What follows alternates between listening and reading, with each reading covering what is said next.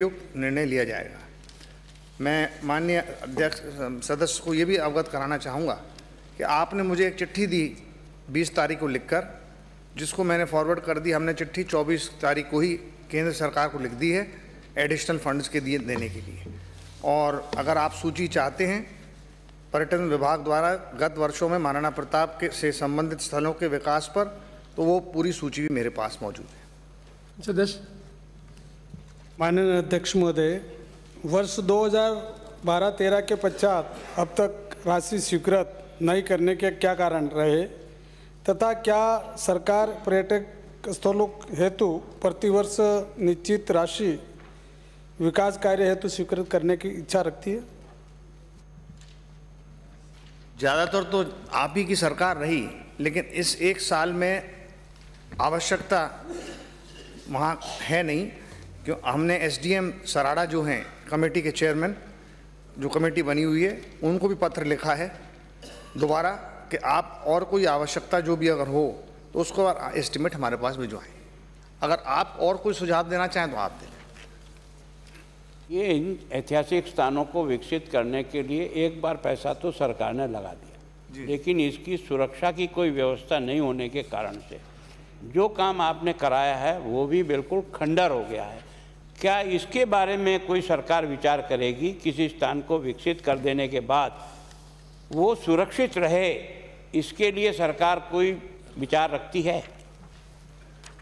आदरणीय माननीय अध्यक्ष महोदय आदरणीय नेता प्रतिपक्ष ने बहुत ही अच्छा सुझाव दिया है और निश्चित रूप से इस पर हम विचार करेंगे और जो आपने विचार रखा है इसके लिए आपको धन्यवाद देना चाहता हूँ। अगले प्रश्न।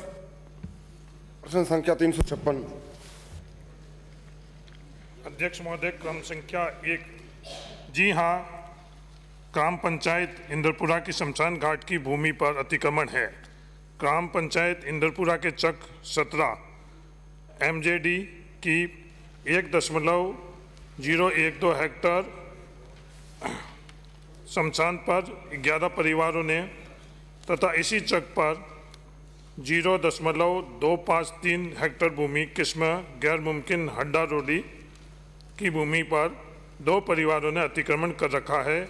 अतिक्रमणों की सूचना परिशिष्ट अपर संलग्न है। क्रम संख्या दो। की नहीं, उक्त अवैध कब्जों को हटाने के संबंध में तहसीलदार संगरिया द्वारा प्रकरण दर्ज कर कार्रवाई प्रारंभ कर दी गई है। गैर मुमकिन शमशान की भूमि पर बसे ग्यारह परिवार के खिलाफ तहसीलदार संगरिया द्वारा राजस्थान उपनिवेशन अधिनियम उन्नीस की धारा 22 के तहत प्रकरण दर्ज किए गए हैं। जिसमें आगामी तारीख पेशी दिनांक 16 तीन 2020 नियत है, तथा गैर मुमकिन हड्डा रोडी पर बसे दो परिवारों के खिलाफ तहसीलदार संगरिया द्वारा प्रकरण दर्ज कर निर्णय पारित कर दिया गया है, तथा संबंधित को दिनांक 18 तीन 2020 तक स्वयं के स्तर पर अतिक्रमण हटाने बाबत नोटिस जारी किया गया है। धारा 22 के तहत विचाराधीन प्रकरणों में निर्णय पारित होने पर नियमानुसार कार्रवाई कर दी जाएगी। अध्यक्ष महोदय मैं आपके मार्फ मंत्री से पूछना चाहता हूँ कि ग्राम पंचायत इंद्रपुरा के अंदर शमशान घाट के ये सिर्फ़ चार बीघे ज़मीन थी। आज कोई व्यक्ति जब गुजर जाता तो उसको संस्कार करने के लिए कोई जगह नहीं है। लोग अपने खेतों के अंदर जाकर संस्कार करते हैं और जो गरीब लोग हैं प्रश्न पूछे। उनके पास कोई जगह नहीं। मैं माननीय मंत्री से ये पूछना चाहता हूँ ये इसका जो कब्जा है कब तक हटा हटाएँगे? ये मेरे को बताएँ।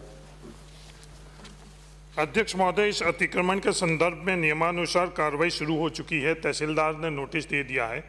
ये नोटिस का जो नियमानुसार जो समय अवधि है इसको समाप्त होते ही नियमानुसार इसको कब्जा हटा दिया जाएगा। अगला प्रश्न हरीश चंद्र मीणा संख्या तीन सौ सत्तावन। माननीय अध्यक्ष महोदय क्रम संख्या एक विधानसभा क्षेत्र देवली उनियारा में गत पाँच वर्षों में खाद्य सुरक्षा योजना में जोड़े एवं काटे गए नामों का ग्रामवार वर्षवार संख्या विवरण परिशिष्ट पर संलग्न है। क्रम संख्या दो, राष्ट्रीय खाद्य सुरक्षा योजना अंतर्गत खाद्य विभाग द्वारा अंत्योदय परिवारों को 35 किग्रा प्रति राशन कार्ड, प्रति माह एवं बीपीएल, स्टेट बीपीएल एवं अन्य पात्र परिवारों को पाँच किग्रा प्रति यूनिट प्रति माह के हिसाब से गेहूँ दिया जाता है। क्रम संख्या तीन युक्त योजना में काटे गए नामों के निम्न कारण रहे हैं। राजकीय सेवा सरकारी पेंशनर निष्कासन श्रेणी के अनुसार अपात्र। धन्यवाद अध्यक्ष महोदय मेरे सवाल का जवाब आ चुका है। अगला प्रश्न सुभाष पुनिया। चौठावन। माननीय अध्यक्ष महोदय खंड एक सूरजगढ़ विधानसभा क्षेत्र के कुल नौ राजकीय विद्यालय बिजली कनेक्शन से वंचित हैं। विद्यालय वार प्रशिष्ट, विवरण प्रशिष्ट, कै पर संलग्न है। खंड दो, विद्युत कनेक्शन विहीन राजकीय विद्यालयों में विद्युत कनेक्शन का कार्य एमपी, सीएसआर जन सहयोग एवं विद्यालय विकास कोष इत्यादि से किए जाने का प्रावधान है। इस हेतु प्रयास किए जा रहे हैं। वित्तीय प्रावधान उपलब्ध होने पर बिजली कनेक्शन करवाए जा सकेंगे। खंड तीन, विद्युत कनेक्शन विहीन राजकीय विद्यालयों में विद्युत कनेक्शन का कार्य M P M L A D C S R जन सहयोग एवं विद्यालय विकास को इत्यादि किए जाना प्रावधान है। इस हेतु प्रयास किए जा रहे वित्तीय प्रावधान उपलब्ध होने पर ही बिजली कनेक्शन करवाए जा सकेंगे।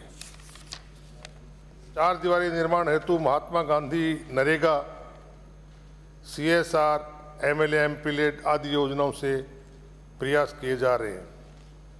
वित्तीय संसाधन उपलब्ध होने पर चार दीवारी निर्माण करवाए जाना संभव हो सकेगा।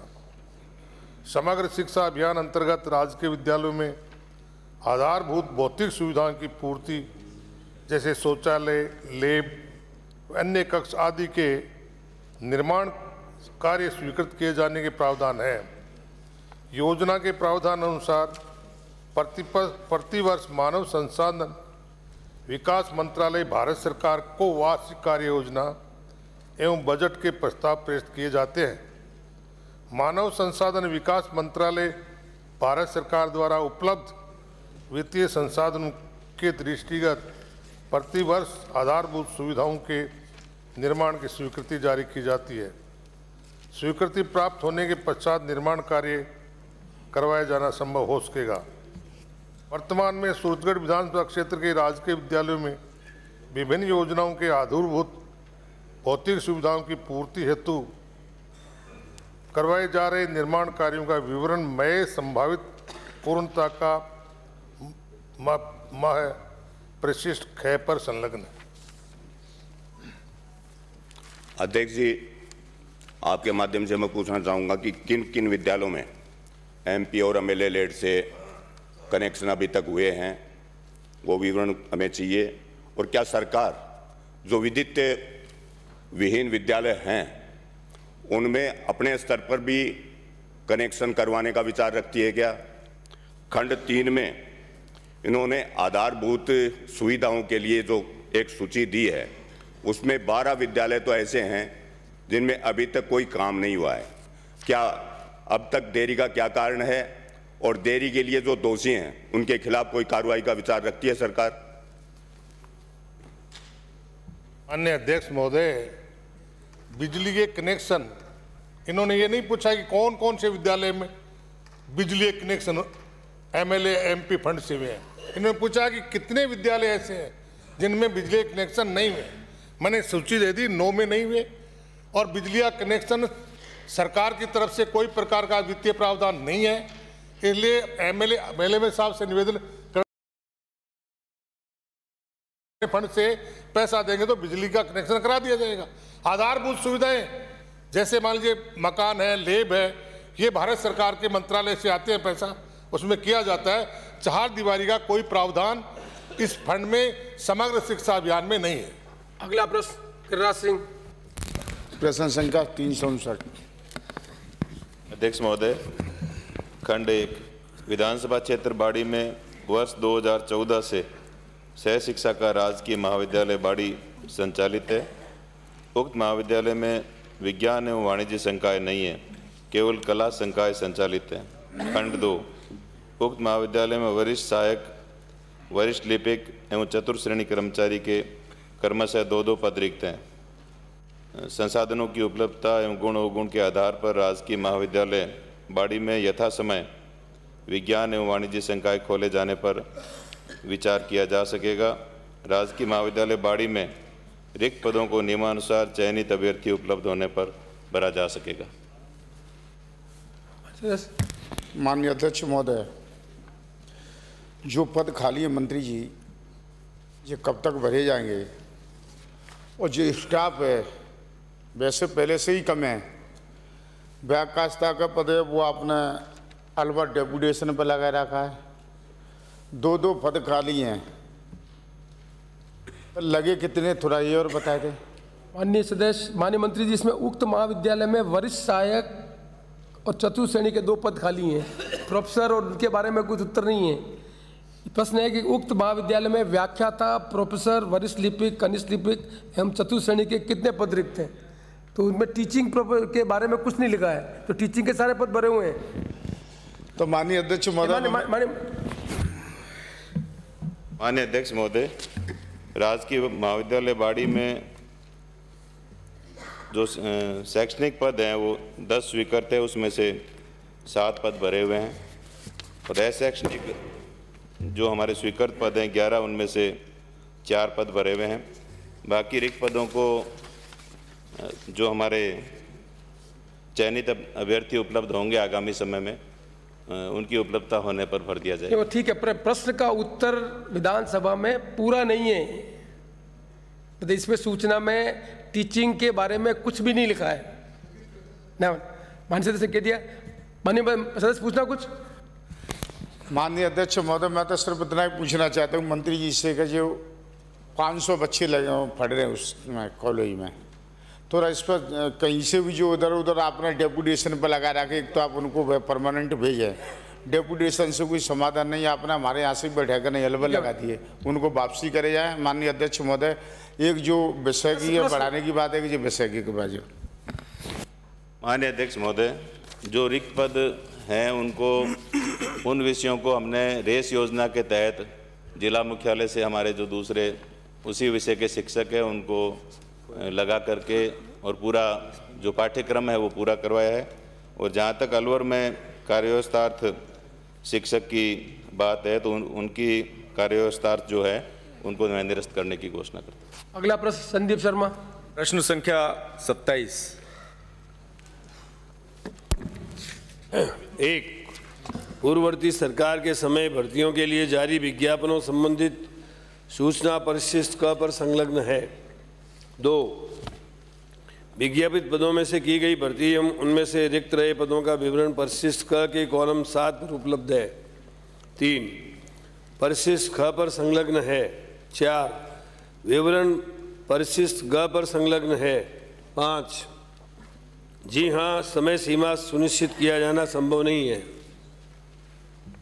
माननीय अध्यक्ष महोदय, मैं आपके माध्यम से मंत्री जी से जानना चाहूँगा कि खंड संख्या दो में आपके उत्तर के अनुसार पूर्ववर्ती सरकार के समय की जो शेष भर्तियाँ हैं, जिन पर अभी तक नियुक्ति नहीं हो पाई है, ये भर्तियाँ कब तक पूरी हो जाएँगी? परिशिष्ट खाप पर आपने तैंतीस पदों को निरस्त किया जाना बताया है। इनको निरस्त किए जाने के कारणों से अवगत करा दें।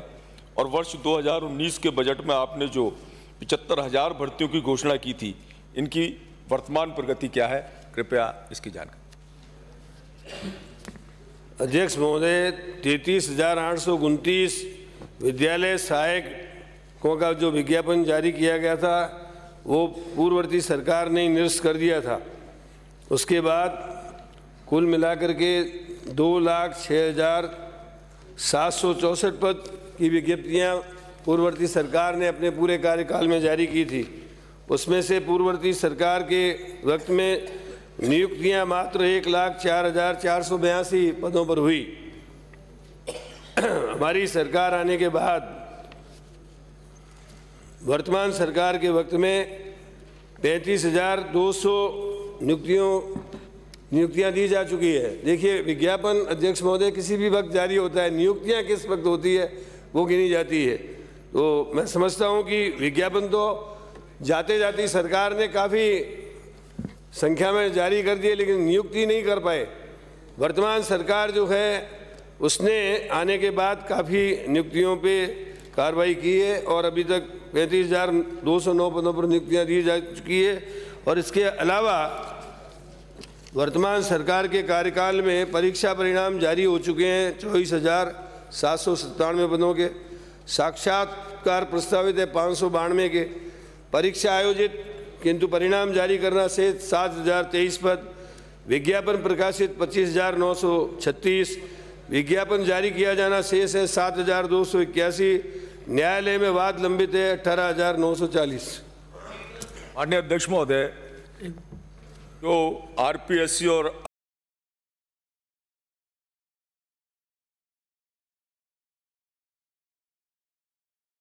आरएसएम एसएसबी द्वारा कंडक्ट की प्रक्रिया है। इनकी समय से गंभीरता पूर्वक विचार रखती है। आर आरएस 2018 जिनके अभी तक रिज़ल्ट नहीं आए, तथा एल डी एलडीसी 2018 जिसका रिज़ल्ट आ चुका है, नियुक्ति नहीं मिली है, और वित्त विभाग में अटकी हुई भर्तियाँ तथा न्यायालय न्यायालय में विचाराधीन भर्तियों के कितने मामले अभी लंबित हैं, इनको क्लियर करवाने के लिए सरकार क्या प्रयास कर रही है कृपया अवगत कराएँ। अध्यक्ष महोदय, जैसा मैंने बताया, न्यायालय में लंबित मैंने बताया ना, अठारह हज़ार नौ सौ चालीस पद ऐसे हैं जो न्यायालय ने लंबित है और परीक्षा आयोजित किंतु परिणाम जारी करना से सात हज़ार तेईस। इसके अलावा परीक्षा परिणाम जारी हो चुके हैं चौबीस हज़ार सात सौ सत्तानवे के। साक्षात्कार प्रस्तावित पाँच सौ बानवे के। और जो आपने, परिशिष्ट में मैंने पूरी जानकारी आपको एक एक विभाग की दे रखी है। आप पर्टिकुलरली किसी विभाग का जानना चाहें तो इसमें सारी जानकारी एक एक विभाग की दी हुई है। कहाँ कहाँ अध्यक्ष महोदय कौन सा प्रकरण लंबित है? जी जय। प्रश्न के खंड चार में जो टोटल वैकेंसी बताई है दो लाख पचानवे हज़ार एक सौ चौदह। इसमें से पिछले बजट में अपनी बजट घोषणा थी पिचहत्तर हज़ार लोगों की भर्ती करेंगे। उसमें क्या प्रोग्रेस है? उसमें विज्ञप्ति जारी कितने की हो गई? सिलेक्शन कितने का हो गया? परीक्षा कितनी होगी? वो बता दें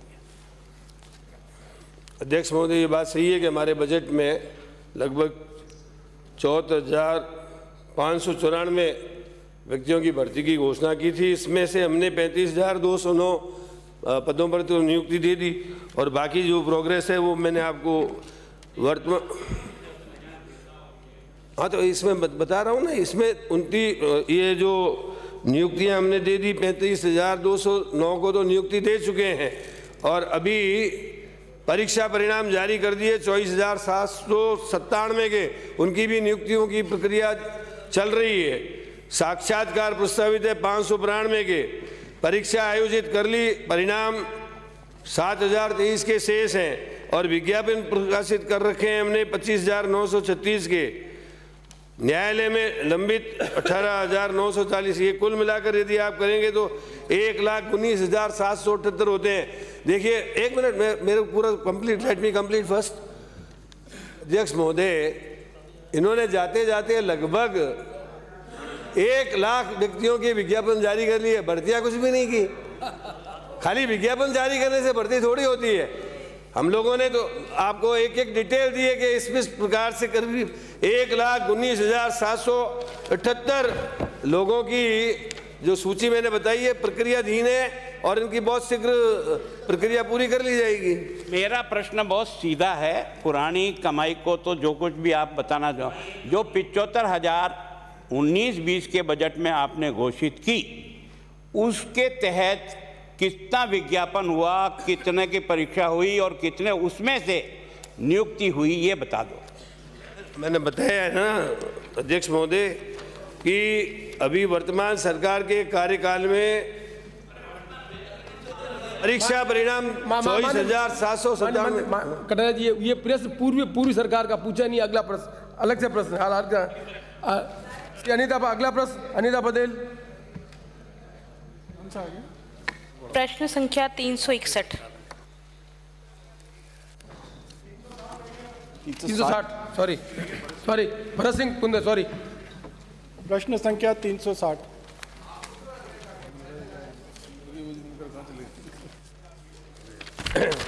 एक जी हाँ।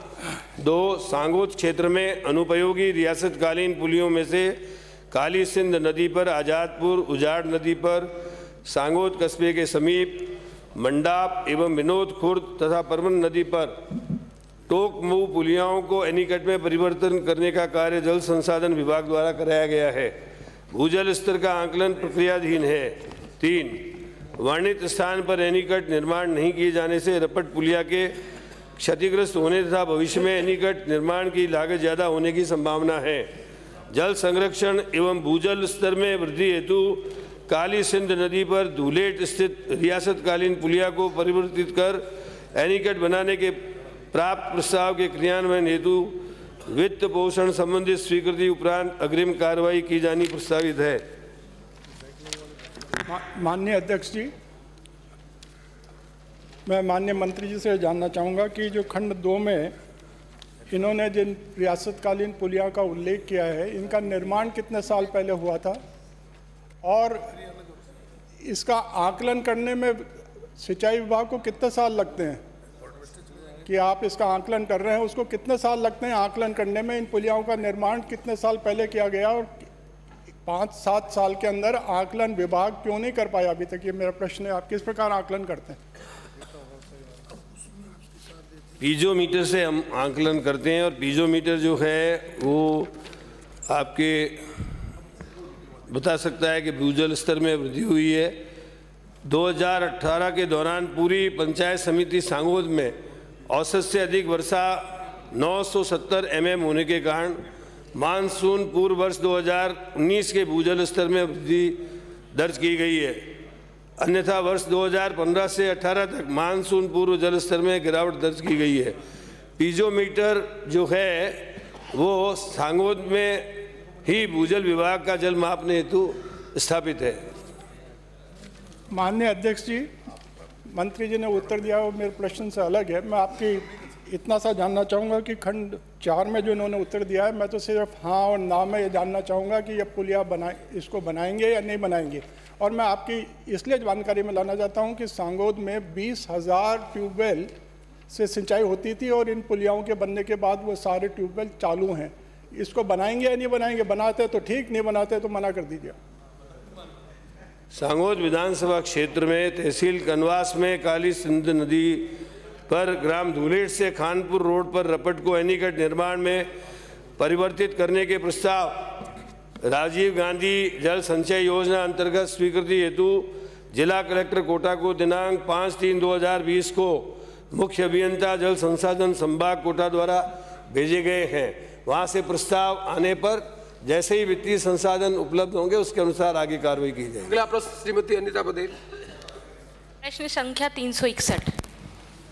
तीन सौ इकसठ अध्यक्ष महोदय खंड एक।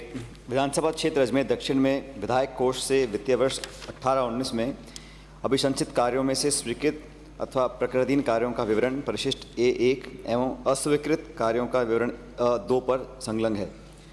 खंड दो उक्त स्वीकृत कार्यों की प्रशासनिक एवं वित्तीय स्वीकृतियों का विवरण परिशिष्ट ए एक पर संलग्न है। खंड तीन अभिशंसित कार्यों की निर्धारित समयावधि में प्रशासनिक व वित्तीय स्वीकृतियाँ जारी किए जाने के पूर्ण प्रयास किए गए हैं। कतिपय प्रकरणों में भू स्वामित्व स्पष्ट नहीं होने अपर्याप्त आदि कारणों से वित्तीय स्वीकृतियाँ जारी किए जाने में विलम्ब हुआ है। चार जी हाँ अजमेर के मास्टर प्लान के अंतर्गत अधिसूचित शहरी क्षेत्र में कृषि भूमि जो खातेदारी में दर्ज है, उसका राजस्थान भू राजस्व अधिनियम 1956 की धारा 90 एक के तहत आबादी परियोजनार्थ नियमन, रूपांतरण, आवंटन का अधिकार, अजमेर विकास प्राधिकरण में निहित होने से प्राधिकरण द्वारा कृषि भूमि पर बसी आबादी क्षेत्रों के उपरोक्त नियमों के अंतर्गत प्रक्रिया उपरांत नियमन की कार्रवाई की जाती है। अवधि की गणना प्रकरण विशेष के गुण अवगुण पर निर्भर करेगी। राजस्थान भू राजस्व अधिनियम की धारा 90 ए के तहत खातेदारी भूमि को आबादी में परिवर्तन करने के लिए खातेदार द्वारा आवेदन प्रस्तुत किए करने पर अथवा संबंधित स्थानीय निकाय द्वारा स्वतः ही भूमि के खातेदारी की सुनवाई करने के बाद मास्टर प्लान के अनुसार आबादी में परिवर्तन करने का उचित आदेश जारी करने का प्रावधान है। राज्य सरकार द्वारा आगामी शहरी अभियान के दौरान स्वप्रेरणा से संज्ञान लेकर संबंधित भूमि को अजमेर विकास प्राधिकरण, अजमेर के नाम दर्ज कर स्वीकृति में शेष रहे अभिशंसित कार्यों को नियमन नियमानुसार स्वीकृत किया जाएगा। खंड पाँच, जी हाँ माननीय विधायक महोदया की अभिशंसा पर योजना के दिशा निर्देशों के अंतर्गत अत्याधिक पुरानी घनी आबादी में भी कार्य स्वीकृत किए गए हैं। खंड छः उक्त स्वीकृत कार्यों में से 10 कार्य नगर निगम क्षेत्र में स्वीकृत किए गए हैं, जहाँ संबंधित वार्डों में लगभग 850 परिवार रहते हैं। इसी प्रकार 28 कार्य अजमेर विकास प्राधिकरण क्षेत्र में स्वीकृत किए गए हैं, जहाँ संबंधित क्षेत्र में लगभग 3000 परिवार रहते हैं।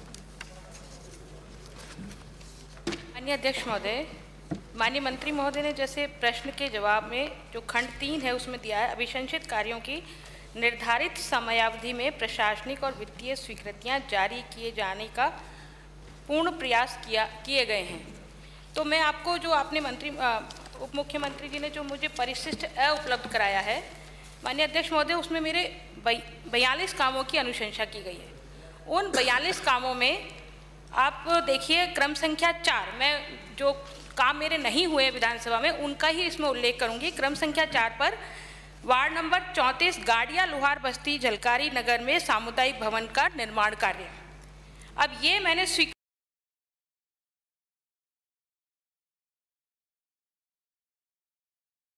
दो हज़ार बीस चल रहा है। मात्र तीन लाख रुपए का काम है। अजमेर विकास प्राधिकरण कार्यकारी एजेंसी है। इसमें भू स्वामित्व का कोई परेशानी नहीं है, कोई आड़े नहीं आ रही है। ये यूआईटी की लैंड है। यूआईटी की लैंड पर यह काम स्वीकृत हुआ है। फिर ये काम ये दो साल पश्चात भी अभी तक क्यों नहीं हो पाया?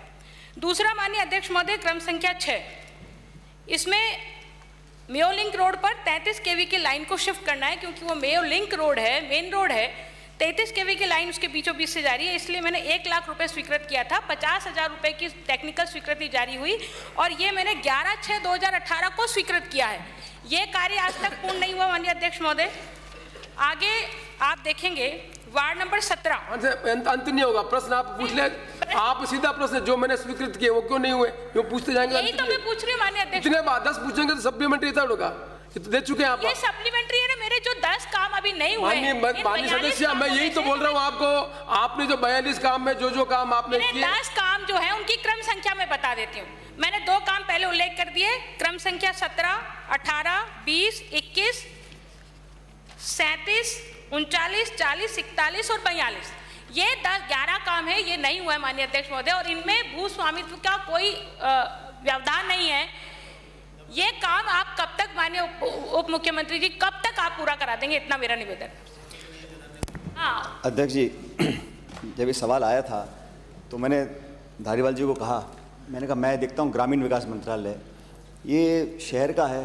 तो धारीवाल जी ने कहा कि सचिन जी, आप मेरे मंत्रालय का भी मज़ा चख लीजिए। इसलिए सवाल मेरे को दिया गया है, लेकिन मैं मान्य सदस्य की बात को गंभीरता से लेता हूँ, क्योंकि अध्यक्ष जी, जो सवाल इन्होंने पूछा था, जो पूरक सवाल हैं वो अलग हैं, लेकिन मुख्य तौर पर ज़मीन का सवाल है, उस पर मैं इतना निवेदन करना चाहता हूँ आपके माध्यम से कि M L LAD M P LAD का कोई भी निर्माण काम हम जब तक स्टेट ओन्ड लैंड वहाँ नहीं कर सकते हैं, निजी लैंड पर हम लोग काम स्वीकृत नहीं कर सकते हैं, इसलिए जो कॉलोनी का एक सवाल पूछा था उन्होंने उसको एडीए अपने अंदर लेगा, उसके बाद हम काम कर सकते हैं। जो बाकी सवाल पूछने माने विधायक महोदया, कि टेक्निकल सैंक्शन और फाइनेंशियल सैंक्शन ये तो सीओ कर सकते हैं, लेकिन जो एग्जीक्यूटिंग एजेंसी है, उसके तहत कहीं ना कहीं लापरवाही हुई है।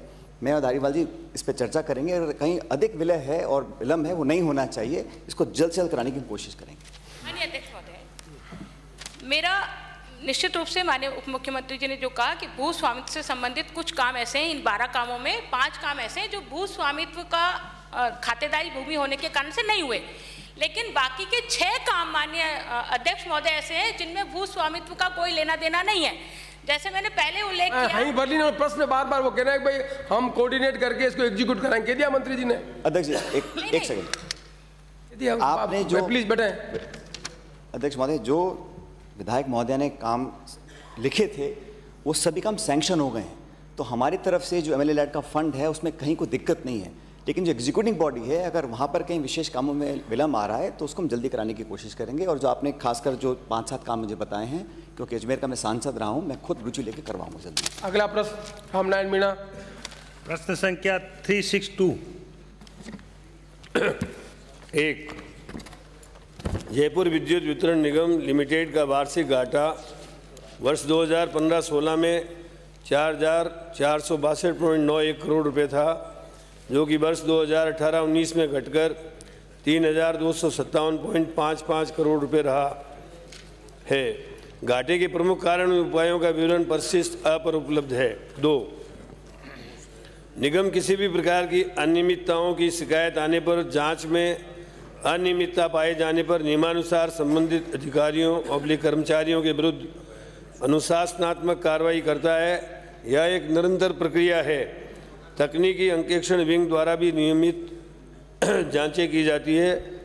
व अनियमितता पाए जाने पर संबंधित अधिकारियों एवं कर्मचारियों के विरुद्ध नियमानुसार अनुशासनात्मक कार्रवाई की जाती है।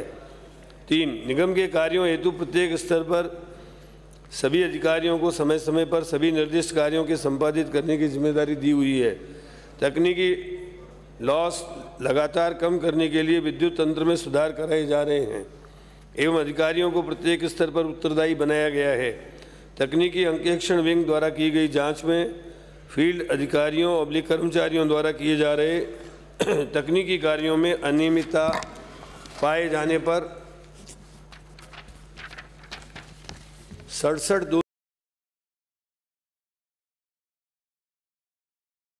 दोषी अधिकारियों अपने कर्मचारियों के विरुद्ध अनुशासनात्मक कार्रवाई की गई है। चार।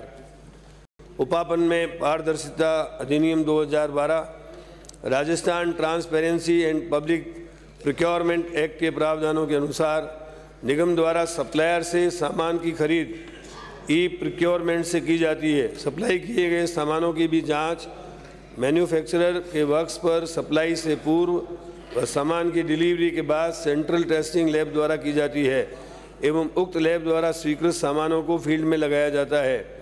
व स्वीकृत को फर्म को वापस भेज दिया जाता है।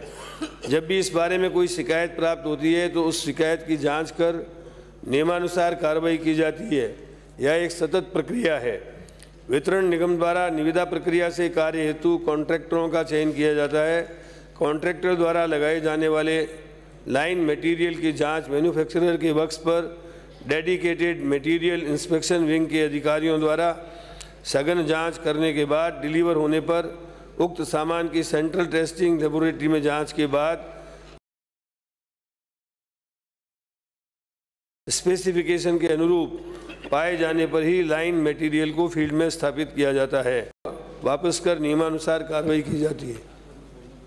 माननीय अध्यक्ष महोदय, मैं माननीय मंत्री जी से आपके माध्यम से जानना चाहता हूँ, क्या मंत्री जी सरकार के आदेश को कोई अधिकारी बदल सकता है? आपके आदेश के जो आपका मेटेरियल मैनेजमेंट स्टोर है, उसका जो निगरानी के लिए मुख्य अभियंता नियुक्त है, क्या टीएफ पास जो एन स्तर का आदमी है, वो उसको काम नहीं करने दे रहा? दूसरा यू नोट इसी प्रकार से है। ऐसी जब हमारा यहाँ चीफ इंजीनियर उसमें कार्यरत है नोडल अधिकारी स्मार्ट सिटीज़ वगैरह का तो बदल करके कैसी रैंका को दे दिया गया। क्या ये करप्शन को बढ़ावा नहीं है? नंबर वन दूसरा, आपके जो ऐसी है, एक नोट जारी करके मेसर सी एंड आई केली ब्रुसन प्राइवेट लिमिटेड को व्यवसायिक परिसर वगैरह में लगने वाले ट्रांसफर्स की जाँच का आदेश दिया गया, जिसे ढाई करोड़ रुपया प्रति वर्ष हमारा नुकसान हो रहा है। स्थिति ये है कि जब आप सीटीएल के लिए आपने जवाब में लिखा, आपने जवाब देने के पहले इसकी जाँच की, तीसरा, तीन साल पहले का आप घाटा बाधा बता रहे हो। गए साल का कितना है, वो तो आप जानो। बताना चाहो तो लेकिन मैं आपसे कहना चाहता हूँ जितनी डिमांड है उससे प्रश्न पूछना है कि भाषण देना है। प्रश्न पूछे ना आप। जितनी डिमांड है उतना रियलाइजेशन है। और ये जो दो यूओ नोट्स हैं जो ऑर्डर जारी किए गए कि ए को चीफ इंजीनियर के ऊपर एसी को चीफ इंजीनियर के ऊपर जिस तरह से आपकी एक इसमें हो रहा है मटेरियल मैनेजमेंट में जिस तरह से परचेज में हो रहा है ट्रांसफार्मर चेकिंग में हो रहा है जब घटिया स्तर के ट्रांसफार्मर आ रहे हैं उसके बारे में आपने क्या आपका? करके किया? माननीय मंत्री जी। अध्यक्ष महोदय इन्होंने एन जो है चीफ इंजीनियर के ऊपर काम कर रहा है इस तरह का प्रश्न तो कोई पूछा ही नहीं। कोई स्पेसिफिक उदाहरण दे तो मैं उसको चेक करवा लूँगा लेकिन कुल मिलाकर इन्होंने ये पूछा था कि जो घाटा जो है उसका क्या कारण है? तो घाटे के कारण एक तो चीज़त जो है पंद्रह परसेंट होनी चाहिए उसकी जगह इक्कीस पॉइंट समथिंग परसेंट इक्कीस पॉइंट आठ परसेंट हो रही है। उदय योजना का ब्याज चढ़ रहा है, उसके कारण से घाटा बढ़ा है। और बिजली की खरीद जो है, पहले चार रुपये, चार पैसे में होती थी, अब चार रुपये चौपन पैसे में हो रही है। उसके कारण से सोलह सौ तेरह करोड़ का घाटा बढ़ गया। अब रहा सवाल, इन्होंने कोई, मान लो इंजीनियर भ्रष्टाचार कर रहा है या ट्रांसफार्मर में ये कर रहा है तो स्पेसिफिक मामला दे देंगे तो मैं उसकी जाँच करवा दूँगा। और इसके अलावा हमने आठ ठेकेदारों के खिलाफ कार्रवाई की है। Messrs R K electricals messrs R C enterprises messrs Vikas enterprises messrs Vikas engineering company messrs iron electricals Jaipur messrs Chaudhary electricals Jaipur messrs Jagdishpuri contractor messrs Radha electricals Nadoti Karauli इस प्रकार इनसे छत्तीस point छत्तीस लाख अस्सी हज़ार रुपये की वसूल और वसूली की है शास्ती वसूल की है। अध्यक्ष महोदय, मैंने प्रश्न दो में साफ़ लिखा है कि निगम में अनियमितता खत्म करने, भ्रष्टाचार रोकने। इसके बाद आप ये मान्य अध्यक्ष महोदय, समझ में नहीं आता इतने वरिष्ठ मंत्री ऐसा जवाब दे सरकार का। दूसरा मैंने साफ़ लिखा है कि कार्रवाई क्या की गई? आपके ऑर्डर्स को सरकार के ऑर्डर्स को यदि आपके निगम के आदमी बदलते हैं और आप कोई कार्रवाई नहीं करना चाहते उसमें से आप छुपा रहे हो? क्यों छुपा रहे हो? घटिया स्तर के ट्रांसफार्मर आ रहे हैं कि करता है। प्रश्न नहीं पूछ रहे आप। सर मैं मैं आप बैठे आप माननीय मंत्री बोलना कुछ। ट्रांसफार्मर का अध्यक्ष महोदय कोई प्रश्न ही नहीं पूछा। मैंने अपने रिप्लाई में इनको बताया है कि 227 माइनर इंक्वायरी की गई। उसमें 19 के ऊपर हमने शास्त्री वसूल की। चौड़वे मेजर इंक्वायरी की, उसमें से 19 व्यक्तियों के खिलाफ शास्त्री लगाई गई। अड़सठ पर कार्रवाई प्रक्रियाधीन है और आठ ठेकेदारों के खिलाफ कार्रवाई की और इनके पास कोई भी ट्रांसफार्मर की, तार की और कोई प्रिक्योरमेंट के संबंधित सामान की कोई इनके पास शिकायत है तो मुझे दें, मैं एसीबी से उसकी जाँच करवा दूँगा। महोदय मैं मैं मैं नहीं हूँ मैं सदन का सदस्य हूँ मुझे जानने का अधिकार है। अंकित नहीं होगा। अगला प्रश्न। प्रश्न। संख्या तीन सौ तिरसठ। आप बेटे अंकित नहीं होगा।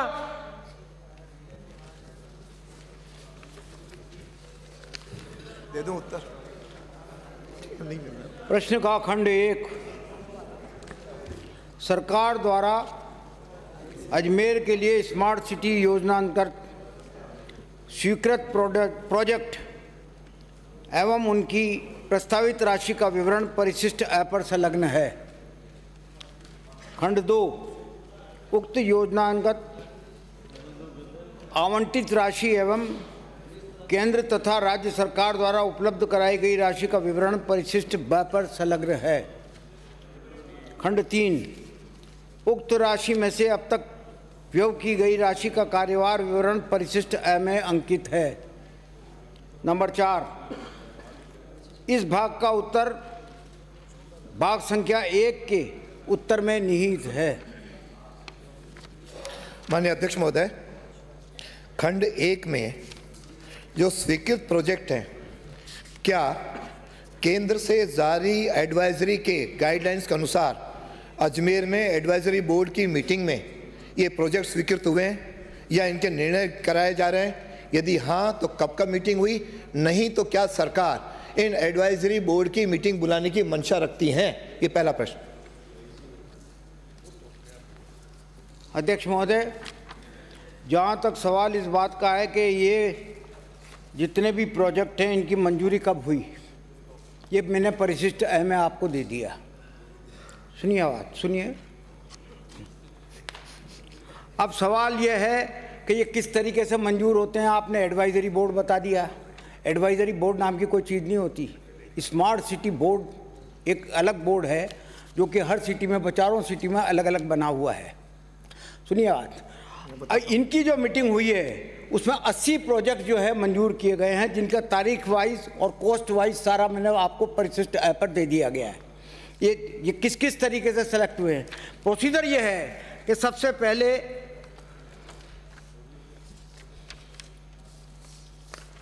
सबसे पहले तो बोर्ड की बैठक होती है। बोर्ड की बैठक में कार्यों की स्वीकृति होती है। फिर उसके बाद निविदा का परिपत्र और स्पेसिफिकेशन वगैरह तैयार होते हैं, नंबर दो। नंबर तीन, पर आता मुख्य कार्यकारी अधिकारी से स्वीकृति के पश्चात नंबर चार निविदाएँ निकलती हैं। तो और नंबर पाँच स्मार्ट सिटी से कंसल्टेंट की फर्म जो है अगर वो कार्यरत है तो उसके द्वारा टेंडर प्रो, टेंडर प्रोसीजर वगैरह सब बनाया जाता है। अध्यक्ष जी मेरा मेरा प्रश्न दूसरा है। मेरा ये है मान्य मंत्री जवाब देना नहीं सुनना है तो फिर मैं अगला ये तो पता है जो तो सुने तो सही आप। और ये सब स्वीकृतियाँ मैं आपको बता चुका हूँ ना आपने आपने ये पूछा कि मीटिंग कब कब हुई।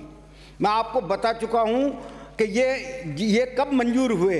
ये जितने भी 80 प्रोजेक्ट हैं, आपके, देखिए, ये 2016 की स्कीम है, स्मार्ट सिटी। और 2017 में सबसे पहले जो है, इस पे इस पे काम चालू किया गया है। नौ महीने के बाद, नौ महीने के बाद में इस पे काम चालू किया गया है। सितंबर 2016 में ये स्मार्ट सिटी की योजना की घोषणा केंद्रीय सरकार के द्वारा की गई। और 16 एक 17 से कार्य प्रारंभ किया गया। लेकिन 17 से लेकर 18 18 से लेकर के 18 तक कुल मिलाकर के आउट ऑफ़ 80 जो प्रोजेक्ट सैंक्शन किए बोर्ड के द्वारा, उसमें से सिर्फ़ 10 पर काम हुआ और 70 में जो काम हुआ है, वो 2019 में हमने काम चालू किया है। मैं, अध्यक्ष महोदय, मेरा प्रश्न स्पष्ट था कि ये तो मुझे पता है स्मार्ट सिटी बोर्ड होता है। लेकिन केंद्र सरकार ने जनप्रतिनिधियों की भागीदारी मेंटेन रखने के लिए एमपी एमएलए के लिए एडवाइजरी ज्वाइन की है, जिसके गाइडलाइंस में आपको प्रति माह इनकी मीटिंग एडवाइजरी बोर्ड की बुलानी आवश्यक है, जो नहीं बुलाई जा रही है, इसलिए मैंने पूछा कि क्या ये प्रोजेक्ट उसमें से आए या नहीं आए, आप इसकी मीटिंग बुलाने की मंशा रखते हैं? मेरा पहला प्रश्न है। मैं आपसे कह रहा हूँ ना कि एडवाइजरी वहाँ से रोज बदल बदल करके आती है केंद्रीय सरकार से। और जहाँ तक सवाल यह है सुनिए आप जहाँ तक सवाल यह है कि स्मार्ट सिटी का बोर्ड बना हुआ है। बोर्ड के कौन मेंबर होते हैं उनके अलावा वो चाहें तो किसी को बुलाएँगे वो चाहें तो नहीं बुलाएँगे। अगला प्रश्न। अगला मेरा दूसरा जो प्रश्न है कि क्या केंद्र सरकार ने इतने रुपए आपको 924 करोड़ स्वीकृत राशि है प्राप्त राशि 300 करोड़ है व्यय की गई अभी तक 120 करोड़ है तो क्या केंद्र से भी 196 करोड़ आ चुके हैं? इतनी धीमी गति से यदि काम चल, क्यों ऐसा धीमी गति से क्यों चल रहा है? क्या सरकार इसकी प्रगति करना चाह रही है? साथ में इन स्वीकृत प्रोजेक्ट में जारी एडवाइजरी थी कि आपको ग्रीन कंसेप्ट और energy saving green building concept और एनर्जी सेविंग का ध्यान रखना है। किन किन प्रोजेक्ट में आप इसका ध्यान रख रहे हैं? मैं आपको निवेदन कर चुका हूँ कि 80 प्रोजेक्ट लिए गए। 80 में से सिर्फ़ 10 प्रोजेक्ट 2018 दिसंबर तक जो है, उन पर जो है स्वीकृति हुई है। बाकी जितने भी 70 प्रोजेक्ट हैं, वो सब 2019 में जाकर के प्रोजेक्ट मंजूर हुए हैं, जिनके टेंडर हो गए और जिनके काम चालू हो गए। एक बात। दूसरी बात आपने पूछी कि 320 ये केंद्रीय सरकार का जो आपने पूछा ना, उसका दो परिशिष्ट व्यय पे मैंने दे दिया कि कुल मिलाकर के 924 करोड़ रुपए सैंक्शन हुए हैं और मिले कुल मिलाकर के आपके 300 मतलब रिसीव हुए सिर्फ़ 330 करोड़ रुपए। ये जिसमें राज्य सरकार का भी हिस्सा है, नगर निगम का भी हिस्सा है और जयपुर अजमेर विकास प्राधिकरण का भी हिस्सा है। 50 परसेंट तो मिलाकर के ये हैं और 50 परसेंट जो है केंद्रीय सरकार के हैं। 330 करोड़ में से इसमें कोई दो राय नहीं कि 120 करोड़ रुपए खर्च हुए हैं। तो 120 करोड़ रुपए खर्च होंगे सर काम ही कहाँ हुआ है? अठारह तक तो कोई काम ही नहीं हुआ। अब उन्नीस में काम हमने चालू किया है। अगला प्रश्न। अजय राठौड़ प्रश्न संख्या थ्री सिक्स फोर अब वो बात मेरे आपने कोई प्रश्न पूछा मुझसे? धन्यवाद बहुत बहुत धन्यवाद। माननीय अध्यक्ष महोदय मैं आपके माध्यम से माननीय उपनेता प्रतिपक्ष का जवाब देना चाहूँगा। खंड एक जी हाँ देवस्थान विभाग के अधीन मंदिरों में किसी भी तरह के आयोजन बाबत विभागीय मंदिर की भूमि कमा भवन के उपयोग बाबत समस्त सहायक आयुक्तों के मार्गदर्शन हेतु एक परिपत्र क्रमांक एफ़ चार कोष्टक में नौ, संपदा देव oblique 2019 oblique two three nine nine two dash two four double zero four दिनांक पाँच बारह दो हज़ार उन्नीस को जारी किया गया था। इस बाबत कार्यालय पत्र एफ़ चार कोष्टक में नौ संपदा ऑब्लिक देव ऑब्लिक 2019 24457 डैश 69 दिनांक 16 बारह 2019 द्वारा पुनः समस्त सहायक आयुक्तों को लिखा गया था। परिपत्र की प्रति परिशिष्ट आप पर संलग्न है। खंड दो, वर्तमान में प्रदेश में प्रत्यक्ष प्रभार श्रेणी के कुल तीन मंदिर विभाग के देखरेख में संचालित हैं तथा इन पर वित्तीय वर्ष 2019-20 में 19 फरवरी 2020 20 तक अड़सठ लाख सत्तावन हज़ार नौ सौ चालीस रुपये मात्र राशि पूजा अर्चना व प्रसाद के लिए व्यय की गई है। जी हाँ खंड तीन। विभाग द्वारा प्रबंधित एवं नियंत्रित राजकीय मंदिरों की Uttar Pradesh oblique Delhi oblique Uttarakhand oblique Gujarat oblique Maharashtra में। स्थित स्थित किराएदारों में पैंतीस लाख इक्यावन हज़ार आठ सौ सात रुपये बकाया हैं। अध्यक्ष महोदय, मैं आपके माध्यम से मंत्री महोदय जानना चाहूँगा कि आपने प्रशिष्ट दो के अंदर दो परिपत्र लिखे, प्रशिष्ट ए में। उसमें एक परिपत्र में आपने लिखा कि कोई भी धार्मिक कार्यक्रम होगा तो उसमें जिला प्रशासन से अनुमति आवश्यक होगी। क्या इस जिला प्रशासन से अनुमति के लिए आप जो आवश्यक मान रहे हैं उसको आप हटाने का विचार रखते हैं या नहीं? देखिए, मंत्री महोदय सॉरी, अध्यक्ष महोदय आपसे निवेदन करूँगा कि जसोल में एक कांड हुआ था कि टेंट लगा के बाहर आयोजन किया गया था और उसमें आग लगी, कई लोगों की मृत्यु हुई और उसके तहत ये आदेश जारी किए गए थे कि मंदिर में कोई भी कार्यक्रम हो सकता है प्रांगण में अंदर। मंदिर के बाहर लोग टेंट लगा के कार्यक्रम करते हैं, उसमें लोगों की मरने की घटनाओं की आशंका है, इसलिए ये परिपत्र जारी किया गया था। और सेफ्टी मेजर्स रखते हुए मंदिर परिसर में ही धार, ये कार्यक्रम, धार्मिक कार्यक्रम किए जाएँगे। ये जवाब मेरी तरफ़ से आपको निवेदन है। प्रश्नकाल समाप्त हुआ। मुझे माननीय सदस्यों को सूचित करना है कि निम्नांकित स्थगन प्रस्तावों की सूचना प्राप्त हुई है। श्री बलजीत यादव नाइन सेवन सदस्य की ओर से प्रदेश में शहीदों के आश्रितों को अनुकंपा नियुक्ति नहीं दिए जाने से उत्पन्न स्थिति के संबंध में। श्री प्रताप सिंह नाइन टू एवं पंद्रह अन्य सदस्यों की ओर से तहसीलदार द्वारा कृषि योग भूमि को अकृषि प्रयोजन हेतु सम परिवर्तन आदेश जारी करने से उत्पन्न स्थिति के संबंध में। पुष्पेंद्र सिंह डबल एट सदस्य की ओर से बीकानेर ज़िले में माइनिंग इंजीनियर द्वारा जिप्सम तथा रेत की रॉयल्टी में अनियमितता बरते जाने से सरकार को हो रहे राजस्व के नुकसान के संबंध में। Shri Sandeep Sharma, one seven five सदस्य की ओर से कोटा शहर में नियम विरुद्ध संचालित हो रहे मैरिज गार्डनों पर नगर निगम एवं यूआईटी द्वारा पक्षपातपूर्ण कार्रवाई किए जाने से उत्पन्न स्थिति के संबंध में। श्री अमृतलाल मीणा एट सदस्य की ओर से विधानसभा क्षेत्र, सलूमर के राजकीय महाविद्यालय सराड़ा को पीजी महाविद्यालय में क्रमोन्नत करवाए जाने के संबंध में।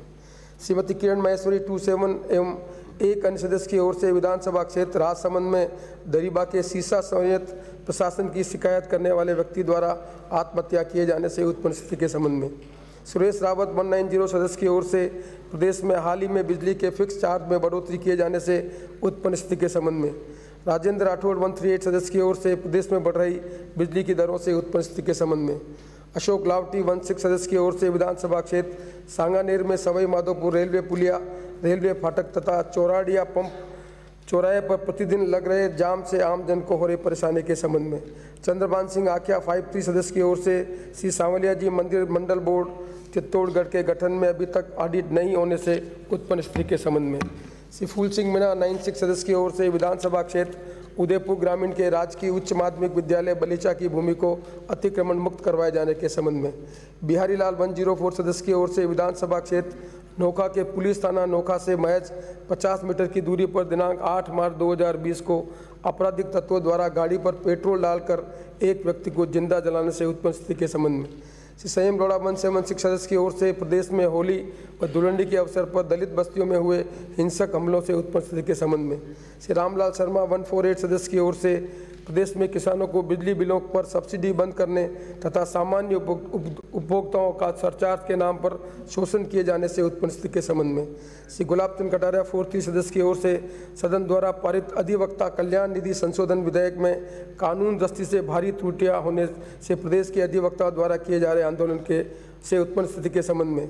से बलवान पुनिया, नाइन एट सदस्य की ओर से प्रदेश में रीट भर्ती 2016 नॉन टीएसपी लेवल अंग्रेज़ी में रिक्त एट टू सिक्स पदों के लिए हाईकोर्ट के आदेश होने के बावजूद भी वेटिंग लिस्ट जारी नहीं किए जाने से उत्पन्न स्थिति के संबंध में।